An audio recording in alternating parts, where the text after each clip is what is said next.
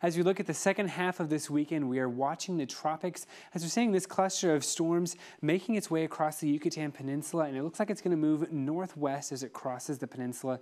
And if it holds together, then we could see this develop into a tropical system and head for the Texas coast.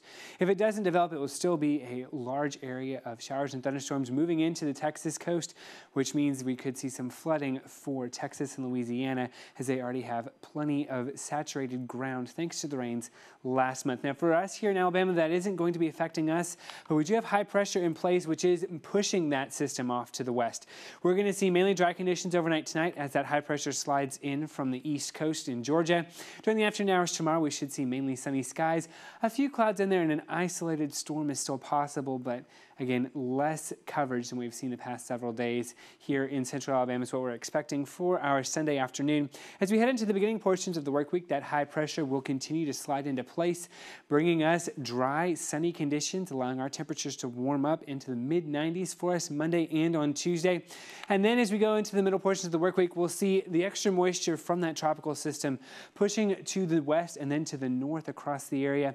And uh, we should stay dry here in Alabama, but you can see this in Mississippi, Alabama, Mississippi, Louisiana, Arkansas, and Texas. We'll see plenty of rainfall thanks to this tropical system as it makes its way through. Here in Alabama, again, we will stay dry thanks to the high pressures situated over us as we go into the first portions of the work week. Now, all this dry, warm weather means that we need to be taking care of our bodies. Temperatures are going to be in the mid 90s, and the heat index will be in the upper 90s, even the triple digits. So, this means that we need to be drinking plenty of water, limiting our outdoor activity, especially in the afternoon hours when it is most heated. You can go out in the mornings or in the evenings when it's a little bit cooler outside, but that, that afternoon portion is going to be very warm, so limit your time out then. And also check on the elderly and pets. They need plenty of water and to be kept cool as well. So do that and reach out to those around you who may need some help. 70 degrees overnight tonight, partly clear and muggy conditions for us, similar to what we've seen the past several nights. So another warm night is expected for us. And then tomorrow, 93 degrees for the high temperature, so very warm conditions. Lots of sunshine, hot and humid. Just a stray chance for an isolated storm, but for most of us, we are going to stay dry during the day on Sunday.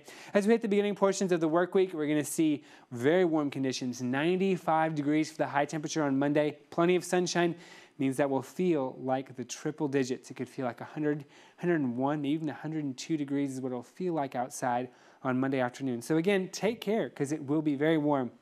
The warmth continues for us on Tuesday as well. High temperatures about 94 degrees then. And then we'll finally see the high pressure begin to break down, allowing some convective activity to develop across the area. A few extra clouds and an afternoon thunderstorm is possible. Wednesday, Thursday, Friday, and into Saturday as well as we slowly see temperatures drop just a bit back down into these lower 90s. Still warm, but thanks to the extra cloud cover, will be just a bit cooler.